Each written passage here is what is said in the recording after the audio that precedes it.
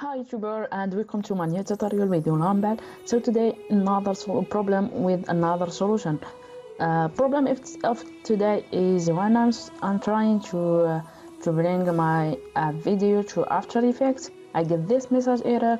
After Effect error the file cannot be imported. This file is damaged or unsupported. Okay the solution is very simple. Just download uh, the- download uh, QuickTime QuickTime okay? I have done it before so I just I will install it.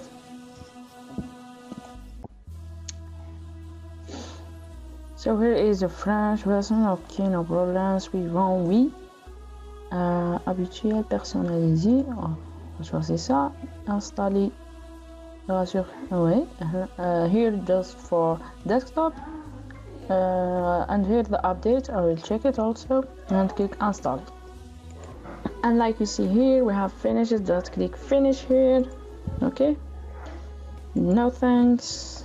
And we go again to our file here. Move it. The same problem. Just uh, restart uh, your after effects